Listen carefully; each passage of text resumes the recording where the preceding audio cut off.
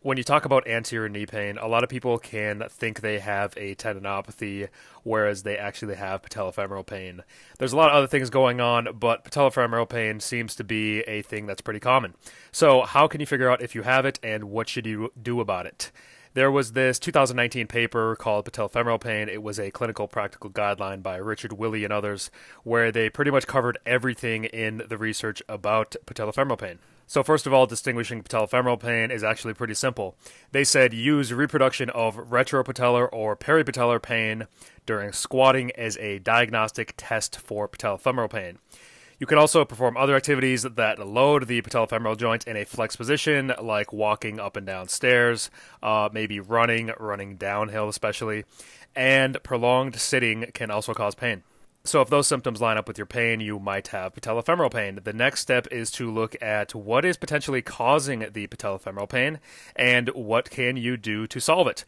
If you talk to anyone else about patellofemoral pain, they'll talk about these very vague terms like the hip and the foot matter, biomechanics matters, but that's not very helpful. This list of the four subcategories puts reasons to why someone has patellofemoral pain and attaches some deficits that they might have that they need to address to solve their patellofemoral pain. The first subcategory was overuse overload without other impairment. They said the patient presents with a history suggesting an increase in magnitude and or frequency of patellofemoral joint loading at a rate that surpasses the ability of his or her patellofemoral joint tissues to recover. I experienced this for myself in the fall of 2021. I went to Indianapolis, met up with my friend Justin Ochoa. I did front squats and vertical jump testing. That evening, I did max deadlifts with my friend Casey Zink. The next day, did a dunk session with Joey Garris. The following day, played basketball with Justin Ochoa for a few hours. And after all of that overload on my patellofemoral joint, for the next week or two, I couldn't do squatting, walking up and down stairs, jogging. I couldn't do any of that without pretty bad patellofemoral joint pain.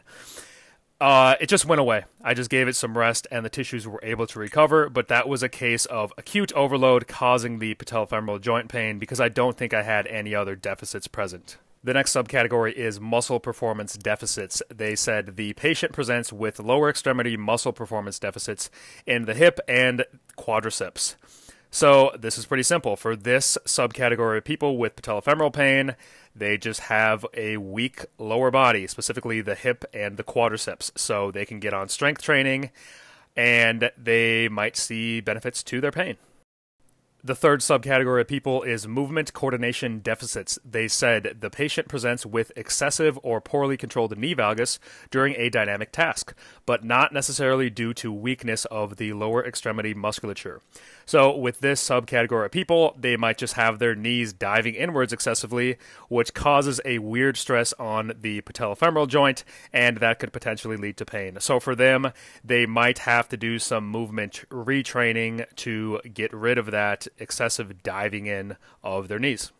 The fourth and final subcategory is mobility impairments. They said the patient presents with higher than normal foot mobility and or flexibility deficits of one or more of the following structures: hamstrings, quadriceps, gastrocnemius, soleus, lateral retinaculum, or iliotibial band. If you look at hypermobility or having too much mobility, they see this pretty much only in the foot. In one study, they see people with patellofemoral pain have a more pronated foot. In another study, they see beneficial effects to using a foot orthotic in people with patellofemoral pain. I'm not necessarily a believer in either looking at static foot posture or giving someone foot orthotics, but maybe what this means, having hypermobility in the foot, is they're not getting too much support from their foot, and maybe that can be developed through training of getting foot contacts. Maybe, maybe not. Or if you look at hypomobility or not having enough mobility, it seems like they used mobility and flexibility interchangeably.